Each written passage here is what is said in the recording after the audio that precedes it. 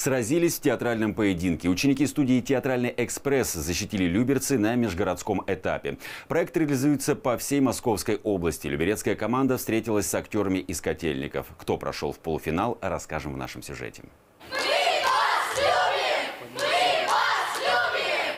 В игре пять раундов. Каждый начинается с жеребьевки. В конкурсе нет театральных заготовок, только актерская импровизация. Ребята состязаются в остроумии, находчивости и сообразительности.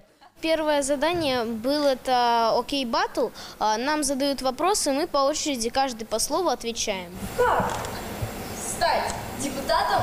Очень легко.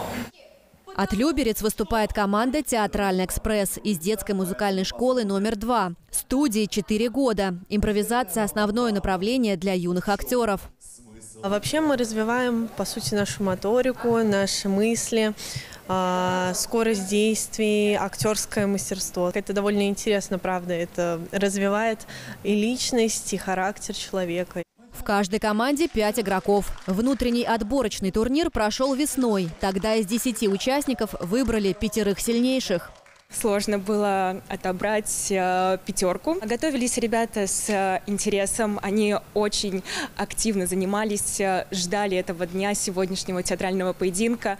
Театральный поединок проводится в 24 городах Подмосковья. Игру оценивает опытное жюри. Это профессиональные актеры театра и кино. Судьи смотрят на несколько критериев.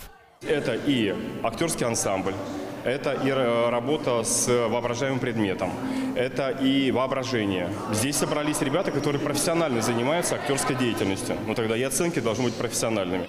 В результате театрального поединка прошли в полуфинал актеры из Люберец. Проигравшие по олимпийской системе выбыли из игры. Но все команды встретятся вновь на большом финале 27 ноября в Московском губернском театре, где финалисты продемонстрируют свое мастерство.